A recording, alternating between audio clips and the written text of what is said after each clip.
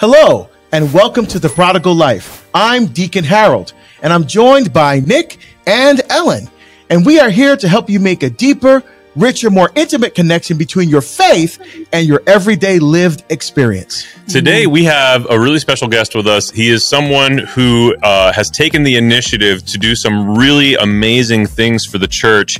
And I can speak from firsthand experience that it has blessed my life, my wife's life, my household's life. And I'm really excited to see uh, where these discussions go with him um, and how it might bless your life at home or in the car or on a jog listening or watching. Ellen, mm-hmm. who are we talking to and what about? We have Steve Cunningham with us today, a massive warrior for Christ. He is the founder, president. Like you said, he does everything for Janitor. Sensus Fidelium. Um, he also has another show called the Resistance Podcast. He's very devout in his faith and wanting to help people, you know, with the spiritual warfare that we're combating on a daily basis, if not hourly basis. So we want to introduce, let him introduce himself and he's going to share his testimony. That's how we're going to get started. And so take it away, Steve.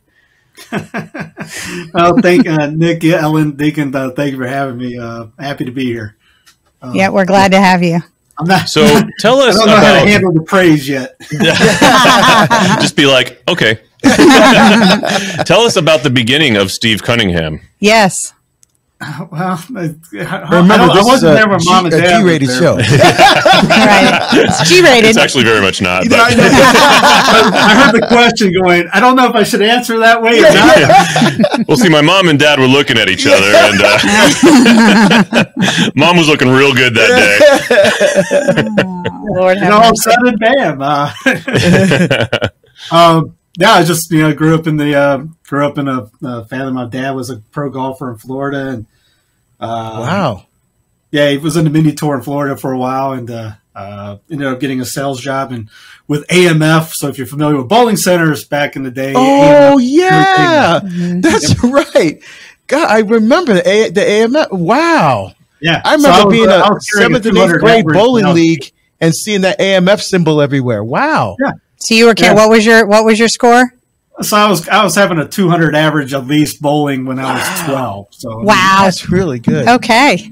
So yeah, we, we were in sports all our life. I, I remember, you know, uh, I tell my wife now because we're trying to think about getting our soon to be five year old into sports, and I go, uh, well, yeah, I don't remember playing t-ball till I was five, I think, and but yeah, we played literally. That was, you know, we we were Tiger Woods before there was Tiger. We you know we saw Tiger with the little sticks we were doing that. I mean, we were beating up, we were beating guys five to eight years older than us in all sports we could think of, and that was it. That was the life. Uh, mom uh, was, you know, making us pray. Dad then, dad wasn't religious at all. He's, he grew up Presbyterian, but we'd go say a rosary. Mom would bring us upstairs and take us upstairs, and then we'd go downstairs and watch baseball with dad on the on the couch or something. And Cardinal, he was mm-hmm. from St. Louis, so we were St. Louis fans, and mom was from Cincinnati, so we were St. Louis, Cincinnati and St. Louis fans. And so I remember the '89 Super Bowl when Joe Montana broke my heart as a kid, and, uh, with the bang uh, uh, beating the Bengals, and now I'm a Carolina Panther uh, big time fan because they moved in. I grew up in Spartanburg, and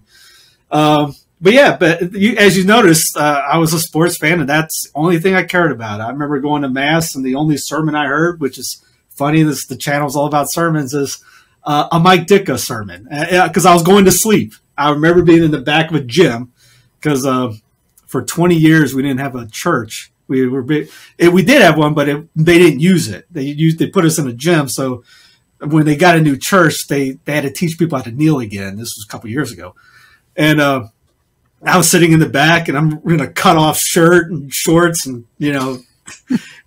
just bad. I mean, I remember the, I remember father coming up to my brother and I and looking at me and go, no, and going to the next person to ask about doing the like my shirt or something. and, uh, but yeah, the only sermon I remember is him talking about Ditka once. And, uh, it was just, it wasn't on, it didn't care. Mom, even though mom took us to adoration, we went to Catholic school. The nuns were there. The Ursuline nuns were still there at the time. Mm. Uh, honestly, you put a gun in my head. I couldn't tell you what I learned in you know, school. Yeah. Or I remember adoration though. I do remember those things. And mom bringing us to mass and uh, saying rosaries upstairs in the room and things like that. But yep, hundred percent of the time was, was sports, sports, sports. I mean, we went to school for sports. That's the only reason I went to high school, play ball. Uh, only reason I went to college, play ball. Uh, so uh, now, you know, people talk about penance. We're in Lent right now. Uh, that was the, ascet- the asceticism that I did was, I mean, I wish someone would taught me how to eat right. We might have been in, might have made pro, but I'd probably be in hell right now though. But, but wow. Uh, but I practiced eight hours a day, six to eight hours a day. Sometimes wouldn't eat, just keep going. Uh, work out, not knowing what I'm doing, but just doing it. Uh, finding the best to play with and try to beat them at anything or, you know, get on a team. Not, I got on College of Charleston's baseball team and didn't even play, pick up a baseball in three years. Co- coach never even saw me, just thought I was left handed. So I decided to throw a ball against the wall for about uh, six months, eight hours a day to get my arm ready to throw. Uh, so this, you know, whatever needed to be done for a ball, it was going to happen. Mm. Shooting baskets, I remember just just three pointers. I made 500. It wasn't shooting 500. I didn't lead till I made 500, and then that's not including inside the arc, and that's not including free throws. Um, wow. So it's I got this I guess obsessive. Uh, uh, my mom always said that if, if my if, if anything I was going to do, I was going to there was nothing going to stop me from doing it. But if I didn't want to do it, it wasn't going to happen. And uh, you see the work ethic from that into this because now I'm posting about 15 videos so, uh, every two days. I mean, literally, it's six a day. Uh, yep. Recording Dom Guéranger, uh, going through the second time of it, and 16 projects in my mind that I want to do that I just got to prioritize and execute using Jocko Willink's uh, teachings on uh, ownership. Oh yeah, mm-hmm. I, lo- I, love though. I love Willink. My dad was a Marine. all my coaches were Marine types. Uh, mm-hmm. I loved, if everybody remembers Indiana University, I remember Bob Huggins. Uh, Bob, I mean, I just went stupid. Bobby Knight. Bob Knight, Bobby Knight. Yeah. I wanted to play for Bobby Knight. Everyone else thought I was crazy. I wanted that. I was all my. Co- I wanted somebody to push me harder. You know, not tell me how good I am. Uh, underneath my baseball had a USC Aiken. Uh, I had a had a phrase, "You suck," because everyone else thought they were the 26 Yankees, and I'm there going, you know, guys, we're on USC Aiken. We're not that good but the, the, motivation to keep me going to do something better. And the same thing here. I, uh, it's a litany, litany of humility. One of the last ones is make someone a holier, holier than else. Make us, make sure you get as holy as you should. And right, just to not to. I mean, Tim Staples really, he really ticked me off uh, in a good way. uh, no, I was coming back into the church, and my brother takes me to this uh, conference in Chapin, South Carolina, and it's Tim Staples, and I saw him. He was reverting uh, back, and I see this guy and he's he's spewing off all the things that we should know, and I go, this guy just came in. We're we're supposed to we're we're the natives, and he knows more than us. I was mad about that. I was like, I want to know more than him because he's the, he's the new guy and a new kid on the block. And, mm-hmm. so it's stuff like that. It's you know you like you know pictures of Larry. You you mentioned the photos. I had growing up. That was Larry Bird. That was Magic. That was you know Pete Rose that was Boomer Esiason. You know, my room was the Hall of Famers that I grew up watching, and now it's the Hall of Famers that we want to emulate, and uh, yeah. everything's connected. I mean, uh, just John John Climacus Ladder Divine Ascent up there. It's that changed me seven years ago during Lent. I remember reading. it. I'm still reading it. Um, but no, it's just one of those things. I never would have thought. You would have told, told myself about ten years ago, 15, uh, 15 years ago, I was going to be doing this. I would have laughed you out of the room. Uh, I said, went to so college. how did he get you? So how did he get you? How did God get you to come back? I was my brother actually telling you know putting a foot on my butt one time. Um, how uncomfortable. Yeah, no, no, it's, it was the way it was because he would. I mean, we were back in. Leave, all right, we get into college. Uh, we, yeah, I start. We started getting into the party atmosphere late in college. We were goody, good old boys for the first couple years. Then we went away to Charleston and I I found the dark side of uh, partying and had a good time with it, and uh, you know, just you know, making keg stand records because they thought that was cool. I was like, yeah, it's no big of a deal. You just figure out how to do it. Um, you know, and then that transferred into USC Aiken, and I corrupted my brother a little bit more in there doing that, and, and then we got into Columbia. I went to Columbia, South Carolina. He went to Athens, and I was leading the party atmosphere in Columbia to the point that I was getting invited to grand openings, soft openings, and sitting next to Steve Spurrier in my workout gear because they knew me as the trainer at the Hampton Hill Athletic Club. I was it was the only it was the main one there. Uh, you know, you had Globo gyms like you know Golds and all this, but these guys were local guys. Everybody knew them. It was a rich family, and I was the main main uh, trainer there. so they would invite me in, and they knew I knew how to party, so I was going to be a life of the life of the room. And yeah, Steve Spurrier sitting next to me, and people like, "You're sitting next to Coach Spurrier." Yeah, so what to do? Hey, coach, how you doing? And you go back. You know, I was an air, almost. Have you ever seen Suits? I was hair. I was. I was. You know, him. I was uh, arrogant. You knew what. You know, everyone knows me. You know, walking anywhere I wanted to go. Um, it's just one of those things. And then my brother, uh, he moves. up. he goes up to uh, uh, Kentucky to play uh, inter- independent league ball for a couple weeks, and then uh, we start. People people would see us post on Facebook. Um, try to make fun of each not fun of each other, but make each other laugh. And that was it. I would post something to make him laugh. He would do something to make me laugh. And then I get a job working with a friend of his in medical sales. He calls me up, say, "Hey, you know, this is during the 1998. You know, economy's kind of starting to tank a little bit.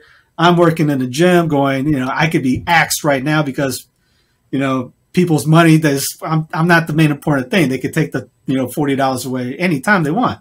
So I got into medical sales through him, just helping a guy out, putting braces on people, and maybe change my ways of thinking. All right, let me listen to talk radio because I come out of college, gun grabber, let's nuke uh, the Middle East into a into a piece of glass and turn it into a parking lot. Um, oh you know, just what I was a wackadoo. You know, George Bush, I'm going to vote for him because he owned the Rangers.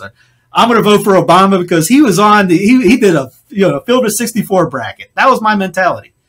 Uh, and then I started listening to talk radio, and then he started uh, getting into medical. Anyways, I saw what was coming down with the Obamacare uh, bills coming in, and we got the HHS letters all the time. Take this product off the shelf, and I was asking questions: What happens if they do become a single payer and things like this? And I was take, taking all that info I was getting and changing the way I was posting and putting that stuff out. And so he saw that I was doing state related things. Now I got Clown Planet News, and I'm doing news from the pew, and I'm doing two news shows a week uh, and then he sees that and he goes, I'm going to maybe post about Saint of the Days uh, for a week of, for Lent. And so at the end of Lent, he started thinking he may have a, a call-in. So he, and, I mean, that story itself is, you got to get him on to talk about that. I mean, my mom doesn't know how to work a toaster sometimes. I mean, technology is not her forte. And she was able to, I mean, literally, I would have to call her to talk her through how to DVR something. Like step one, turn the TV on. I mean, step two, hit that button. And then all of a sudden she ended up recording because my brother went out to say, you know, go for adoration. Where do you want me to go? And she opens the door at 12 o'clock at night, which she's usually in bed by nine. I just recorded this for you. You had to go watch it. It was Our Lady Guadalupe Seminary in Denton. And he goes, okay, that's, you know, for, you have to be there to be able to figure out how, you know, how nutty that was at that time. And uh, he texts me up. He goes, ignorance of scripture, ignorance of Christ. After I just got let go from uh, medical sales. I'm thinking I'm going to get I'm going to get my own gig here soon. I'm good enough. I'm going to get my own territory. It's no big deal. Months later, it goes by. I don't get it. I'm about to go to work at Time Warner Cable, being the guy that you call up on the phone and complain about your cable bills. And he texts mm. me up, ignorance of scriptures, ignorance of Christ. Like, all right, I'll give it a shot. And uh, that was the first week. Matthew, Mark, Luke, and John. Monday, Monday, Tuesday, Wednesday, Thursday. Responded back. What else? I didn't know about the St. Mary Magdalene. For some reason that kicked in my mind.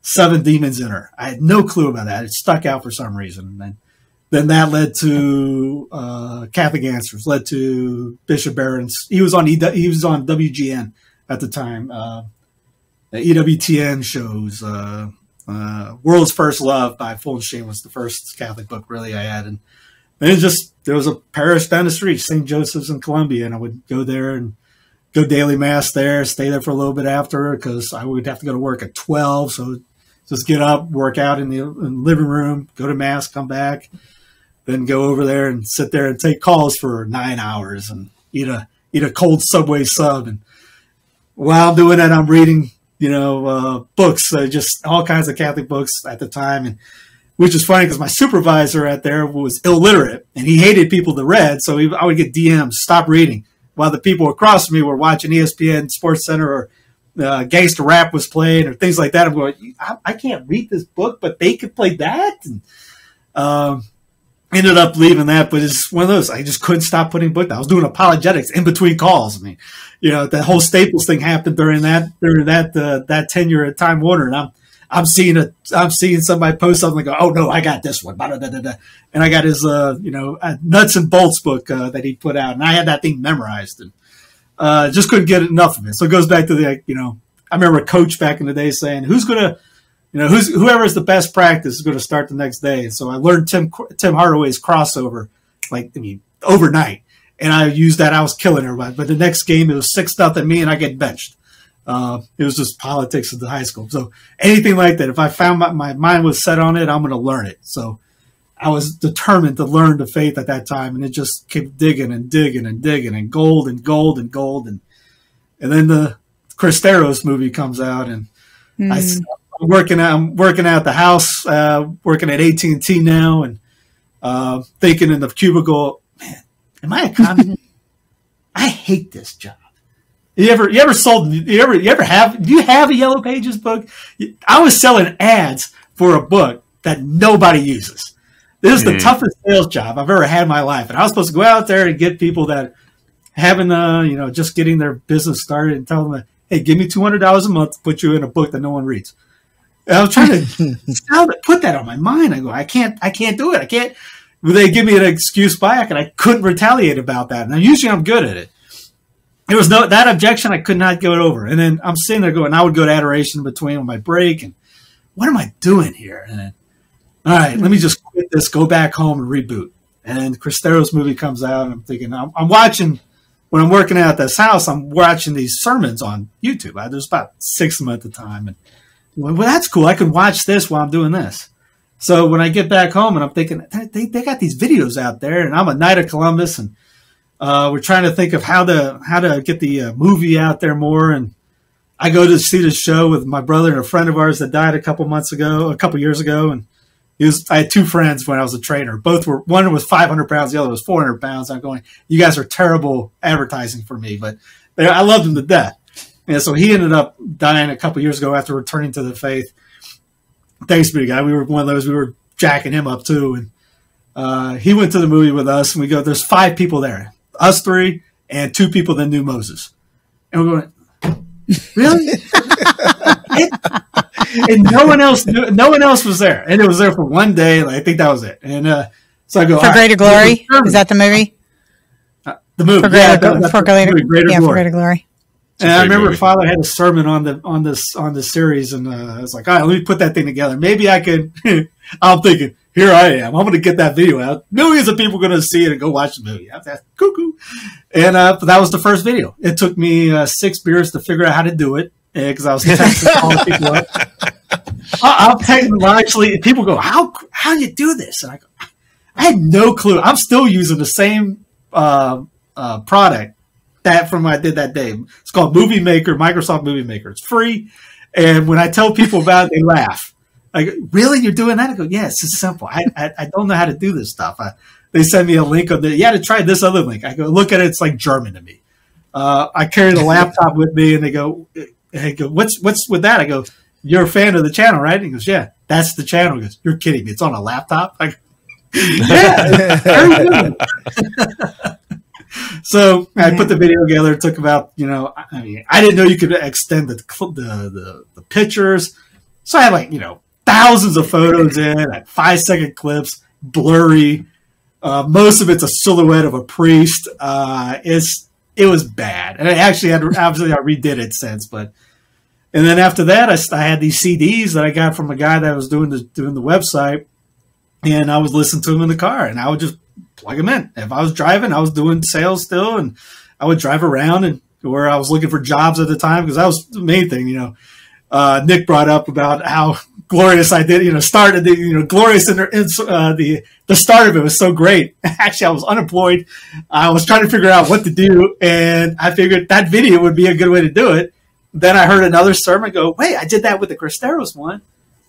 I didn't know about that. Maybe I'll put that up on the channel too. Help somebody else out." And that was really the gist. If I learned anything from a sermon, I would just put it up on the channel.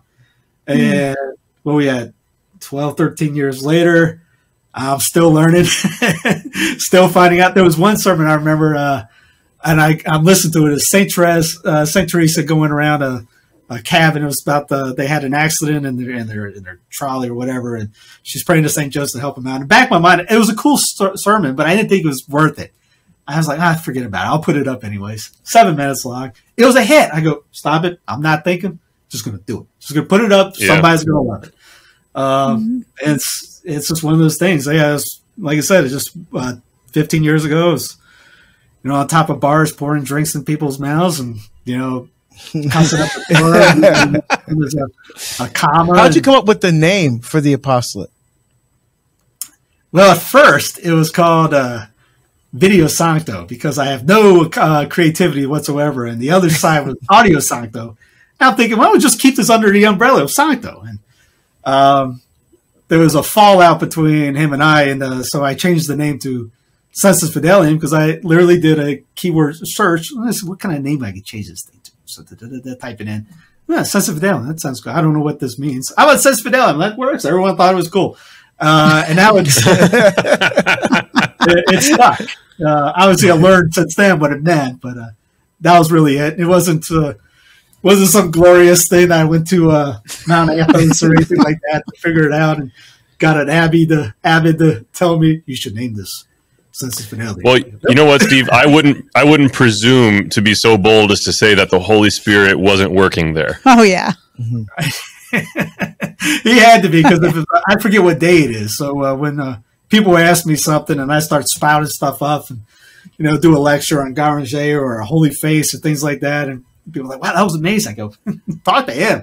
I, I, forgot what is today, Tuesday, Thursday. What is, I have to really look at it, going, "Oh man, I forgot what day. I forgot to eat." Uh, but yeah, I can stuff off. Uh, and you referenced some other um, projects that you're involved in um, that they become come to life. Like I, th- I think it's Clown World, Clown World Clown News, and you've got From the Pew, and then you've got the Resistance podcast. How did they fall in after you established, you know, the Sensus Fidelium? Well, the uh, resistance idea, that was my wife. We were, she was telling me the, she pushed me to get the website, the dot com site. And mm. so I got that. You can, you can thank her for all the good stuff. It's, there's a, a line from Bruce Almighty where, where behind every great man is a, a woman rolling her eyes. Yeah. yeah. That's probably her. Uh, so she got the dot com thing together, busted. There's 11,000 links on that thing. Hmm. Um, mm. Yeah, four languages, 11,000 links. And wow. uh, she said, "You got to do podcasts." I said, oh, "Why would I do that?" And I'm just because I'm just doing the sermons thing. Like, no one wants to hear me. And uh, so the first one, actually, a buddy of mine wanted me to do a news show for him, and he sent me all the equipment, which I still have, and I still to this day don't know how to work. And uh, it's microphone stuff. It's I you know I think it's cool, but I have to take a photo of it when I move somewhere, just so I put it back exactly how it is. And uh, so instead of ask, I was asking friends uh, to do interviews of these people on these topics, and then I would, after they did it, I would put them together in a video for them. And I, then they start, they didn't start, you know, doing it anymore. I was, I was asking, hey, you got to do this, and they wanted to do the spicy clickbait stuff, and I didn't care about that stuff. I wanted keep it piety because, like, when I was putting the the website together, thinking, all right, I met with some of the Redemptorists in Scotland. They were in town mm-hmm. at, hanging out with Father R one day, and I was talking to Father Jean uh, Jean Pierre, and he said, you know, we do the mags. They do the Catholic magazine, uh, the Catholic, and he goes, it's straight piety. I go, all right, that will be the site. I don't know what I'm putting on there, but it will give you straight piety. You know, I'm going, what am I going to do? Put the video on the website? I'm still trying to figure this out. So then I started doing Resistance podcast because I'm a big John Connor fan and Terminator. And even though uh, Salvation, the movie Terminator Salvation, wasn't that great, there were some cool scenes in it. So I ended up getting, I played her the clip. I go, this is going to be the opening. And you hear John Connor in it, and you know, we've been fighting a long time. She goes, that's awesome. I go, I know. That's why I want to start out with it. And then I put the Avengers theme song behind it, so you get the doom doom behind it. So you can't play one without the other. You get back, you get nukes from uh, YouTube. But if you put combine them the two, it screws up their AI and then I started going, well, let's do these topics. Let's talk about this. And I, I, literally just reached out to Ignatius Press going, is there a way to get Cardinal Sarah on to talk about his book Silence? Because everyone wants to talk about these other books, but eh. I'm hearing, you know, John Klein, Father Abernathy's doing these podcasts on Cassian and Climacus, and they're talking about mm-hmm. silence, getting the silence is the language of heaven. And we're all you know griping, complaining about this, that, and then the other. I'm going. I'm I'm trying to do the opposite of these guys. So mm. I'm looking at solutions. So like I just did a solution show on Spiritus.tv, the alternative Catholic uh, YouTube channel. Uh, alternative guys. I got small business guys on the chat on the website that I'm trying to promote. These guys, a lot of guys are going with help my my pillow because you know don't care about the my pillow guy. I care about this this mom and Joe and up in I think it's Idaho, Montana. They got their own pillow company. I'm gonna help that guy, and they're Catholic. So I got all these little Catholic guys. So I'm trying to get these little guys that have better knowledge than most of these big dogs. And the big dogs are just losing their minds right now. I'm going, let's stick with piety don't want to go left or right. Obviously, staying down the middle on this thing. Yes, I don't agree with a lot of things going on, but I'm not. You know, it's you got to keep the joy. No one's talking about joy. I got guys talking about joy. Uh, mm-hmm. So it's one of those things. I want to. It's in high school. We weren't the most conforming people in the world. Uh, everyone Imagine loved Dave. Yeah, everybody loved Dave Matthews Band at the time, and we would get up and say, "I hate Dave Matthews," and the whole cafeteria would go, "Skirt." that was us. I, you know, if you were doing this, I'm to do it the other way. If you hate this, I'm going to go the other way. Um, so really, it's one of those when I see people, especially on like Twitter and things like that, I just it turns me off, and I want to mm-hmm. help the little guy out. And it makes me want to get in, dig, dig in deeper instead of running away to infiltrate. Like I just got this, like uh, an interview with the the diocese of Charleston. I call that real infiltrating. I got into them, but the whole the whole idea, the premise with it was to get into the magazine, to get other people that have never seen the channel to hear about it and get them to come to it. And I can't do that if I'm just talking to the choir all the time about this thinks, this thinks, this thinks, this thinks. No, I'm trying to get out there and bring people in. Mm-hmm. And mm-hmm. that's the whole gist of the resistance is resisting the, you know, the world, the flesh, the devil, and just the temptation to be, you know, and I tell all my friends, if you if I start getting a big head, come to my house and kick my butt. Um, like if you if you call me and I don't call you back and I think I'm too good for you, resist resisting those temptations and uh, the mm-hmm. vices like that. So uh, I'm not wow. you know, using resistance in different ways right now. That I'm resisting that resistance. yeah. So would you and say that the resistance podcast has like a political dynamic to it? Is that kind of where it goes, or is it more religious? Yeah, the, well, you know, whatever I could bring up, and a clown plan is more of a political stuff. It's Okay. that's what brought me back in is politics in general. I ran for South Carolina State House seat back in 2010. And it's always one of those things I want to, if I'm going to talk the talk, I want to be able to do it too and be able to look at my kids and say, at least did something. I tried. And the clown plan idea was, uh, I saw a lot of people, you know, talking about things. This was during the, uh, the thing that went down three years ago that I will not say so that we don't get booted and uh, on a, alternative platforms, but bring out the news that's coming out that other people aren't watching. Because mm-hmm. I like right. watching particular folks and digging into the yeah. news thing, getting the reports, Clown not planet. the person to come out with it, but getting it right, and then getting that info out there. And so that was the whole gist on mm-hmm. that. Here's the info that you're not getting, that's out there that you might not be seeing if you just watch Talking Heads on state approved media. And you know, here here's the links and I it's used from secular guys that gave me the ideas. Here's the links. You can call me crazy. Here's the story. Yeah.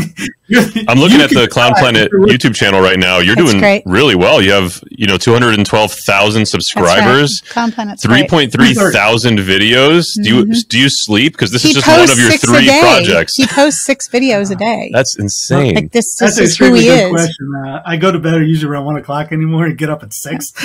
That's right. yep. I think you and I have similar sleeping patterns. And I'm then just you not have putting the, out 6 videos a day. It's crazy. and then you have news from the pew, which I love. I love that. That is great. Yeah, yeah, no, it's that's again, again. It starts with uh, Corbett Report. They have a show called uh, New World News, New World this week, and I've a buddy of mine. We we watch that all the time, and I wanted to do a Catholic version of that, and mm-hmm. ended up getting.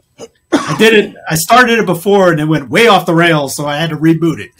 Um, and uh, so that's that's what that is. It's just get again. Yeah. Let's talk about the news in a Catholic sense. And I told the guys I want to talk about virtue bring scripture in on it. And you know, the guys I, I reached out to are great.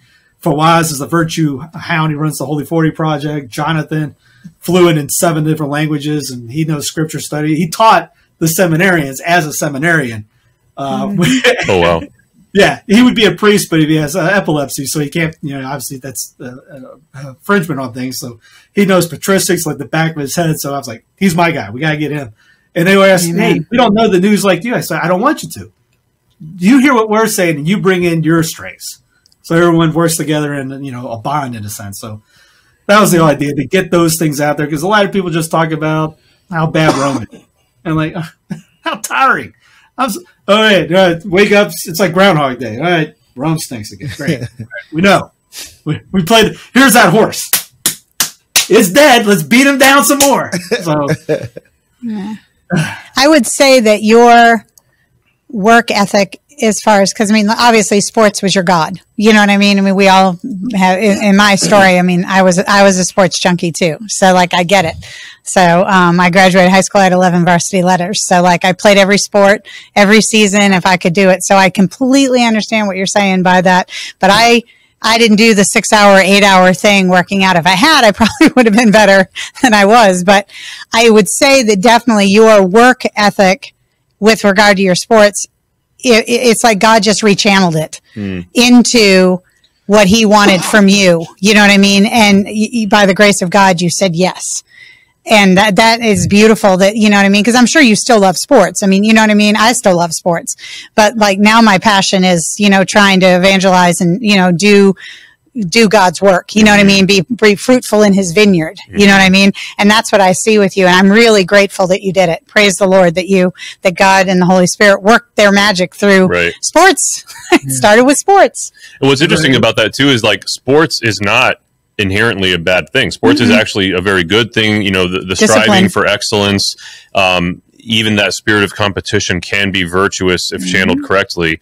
Uh, and, you know, it's one of those things that where you're at now in your life, in your faith, uh, and anyone else that might relate to this, because there, there's so many different things. Like for me, music was my idol, and fame and glory was my idol, and mm. I had to step away from music for a while, and, and now I'm back into music because yeah. I can do it virtuously, mm-hmm. God willing. Um, you know, and you were talking about uh, Jocko. You made a reference to Jocko earlier, and mm-hmm. and you know he's someone that he, he's obviously secular, um, but he. Am, am, I right in saying that? I'm pretty sure he is. Yeah, yeah he comes from a secular. He's Christian of some yeah. flavor. But you can still, even from a Catholic standpoint, you can still go to someone like Jocko and get a lot out of what he has to say in terms of us again striving for excellence and, and trying to be the best versions of ourselves. His his view on that is limited, right? It's similar to if we're following sports and, and we're, we're following athletes and coaches and stuff like there, there's, there's going to be some tidbits of virtue that we have to gain by following these people, but we have to also like limit that to what their what their limitations are, right? And and not let it go beyond that, um, because we can end up finding ourselves idolizing people and and then kind of taking to the bank too much of what they say. Um, mm-hmm. And so, yeah, I think that where you're at is super cool because, like Ellen's saying, like your your the the work ethic and everything, like how little you sleep and how much you output, um, like God is using that clearly, um, and and it's it's it's really awesome to see that for sure. Uh, I was also thinking you should check out you might enjoy this we have a show at Awaken catholic called physically spiritual that is hosted by andrew reinhardt and I've, I for some time have have considered andrew reinhardt to kind of be the catholic jocko minus like he's never been in the military or anything but like mm-hmm. in terms of a lot of the science uh, and like uh, j- there, you, there's a lot that i think you might enjoy if you're into jocko mm-hmm. physically spiritual I'll check yeah, What yeah. I appreciate about what you're doing is just you're just a regular guy. Yeah. Right. I mean, so many people uh, have ideas. They want to do things. They want to try and do something, but I don't have advanced degrees in theology, or I don't speak Greek, or I don't do that. I'm like, just be you. Mm-hmm. don't don't try to be like this person, that person. Use what God has given you, and if you feel called to do something, just do it. Amen. Yeah. You know, and, and, that's that's what I love uh, about you the, the beautiful simplicity of what you're doing, but it's making an impact because mm-hmm. you're not trying to be anybody other than yourself. Amen. Yeah, you would figure out real quick if I was trying to pretend to be someone else. I, I'm terrible. no, wow. when, I, when, I, when I was unemployed, that's all I did was read and listen to these podcasts, listen to these sermons, listen to Catholic Answers, and if father told you to read a book, I would find that book and start reading it. It was like I had the time, still trying to look for work, but so yeah, I didn't go to seminary, I didn't go to any of those things. So I went to the School of Hard Knocks and listened to listen what the priest the priests were telling you to do. So I just read the saints. I got Saint Alphon- every Saint Alphonsus book over there. I just read them all. I just read Saint Francis, and Dad always said wow. to you know read the uh, read like I was big basketball. Read Larry Bird's story. I have the book still. So mm-hmm. read the stories of the guys that played ball and Hardaway and Magic and Jordan and Rose and all those guys. Be like them. You read them, and then that's basically I carry that over to the faithful ones. So read those guys now. That's awesome. Amen. And if I, I'll be remiss if I don't ask this question because the followers who know who you are are going to be, why didn't she ask that? How did you come to work with Father Ripperger? Because I lost that, and uh, no, I lost. No, uh, no well, let me guess. You were possessed, and he was your exorcist. Yeah, that's it. and, uh, no, there was a, there was a time when uh, there was a group of laymen that tried to cut uh, slam the channel down. It was back mm. in 2006, and I I I ran and I, I met not Ryan, I met Ryan. I've been contacting Ryan for a while, and uh, he was always asking me, "Why do you help me?" I go, "Because I know how to put a good product out there." And what it means when no one else is helping you. So I like doing that with a, you got a good product, you're terrible at marketing, let me help you out and that's Trans 101. We put a site up there. We think everyone's just going to show up to it. We don't tell anybody it exists. And I'm like, I like showing that. So him and I became friends. So I was helping him, getting his stuff promoted and all this. I didn't know he was BFS with Father R. And then when all this stuff went down at this parish, I immediately contacted him and a couple other people, mainly him. I said, what can we do about this? And mm-hmm. he was able to contact, he knew the other priests too. And they all, it was a blessing in disguise. They all bombarded me with texts or emails saying, we got your back. Keep doing what you're doing. You have our blessing. I'm like, perfect. And he said, Father Art can stand up and do a video for you if you want, saying he's back, he'll back you up. I said, don't have to, wow. no big deal. And I still haven't talked to him, but he, I knew he it was on his radar now. Because I always wonder, I wonder what these guys think of me. And, uh, and I go out to Denver, move out to Denver, and uh, Ryan comes. We bring Ryan down to do a lecture. He goes, "Father Art wants to meet you at his place." Said, okay, sure, no problem. So we go up there, and uh, that was it. We just started shooting the breeze and just you know hanging out, having a drink, smoking one up, and uh, hang out there for a couple hours. And then it was probably about twelve o'clock at night before I leave home. Going, guys, I got an hour drive down here. I do Uber, and I get up in three to start driving strangers around to pay the bills. So I need to roll. uh, so yeah, it's uh, it was one of those. That's we just ever since then we've been you know we'll he has a good is a big circle of friends that he texts to. But uh, yeah, we chat a lot and talk about things that are going on or uh, spitball ideas at each other, or you know, hey, what do you think about doing this? We you know, I try to help you know get the promotions out for his books and things like that. So yeah, we talk a lot, but uh, it's it's okay. usually memes to each other, and he's a big meme. So. He's a memer. Oh, okay. Father R is a memer. I like that. He's That's a, a good, good way to go out on this. He's got All a good well, sense of humor. That's hilarious. Well, thank you for sharing your testimony, Steve. It's great. So, how can our supporters and fans and viewers find you? Like, what are the best ways for them to get in contact with you to support your work and what you're doing? I, I immediately started thinking of Blippy. Type my name, B L I. No, sensusfidelium.com. Uh, type it out. How you learn how to spell it. Uh, but it's sensusfidelium.com is the website. And I actually just found out after about six years of having a website that I can put feature videos out there. So I update the front page daily with Saint oh, of the nice. Day sermons or like today, Thursday after Ash Wednesday sermons. So every day I'm trying to upload that. So that's the main way. You can go to everywhere after that and uh, just click the about. It has all the plat- platforms I'm on. I think I'm on like eight. Um, nice. Including YouTube. So just type in Sensus Fidelium. You can do it on Google and you'll find it. So it's uh it'll be it's hard not to find anymore. But sensusfidelium.com is the main webpage. Awesome. Well, thank you very much for sharing your story. We really would like you to join us and get the Awaken app on your phone. You can get it at your Apple Apple Store or your Google Play Store or even online. If you want That's to just right. follow us online on yeah. the browser, on YouTube, I mean, we're everywhere. So you can do that, and we would like it. And then Deacon's going to tell you how you can support us because this does not happen for free. Just go to theprodigallife.com, and there you will see different levels of giving that you can uh, use to support the show. And we've tied those to the different levels of angels, right? So you can become an angel investor, if you will, in the prodigal life. All right. Yeah. Thank you, guys. Come back. God bless you all.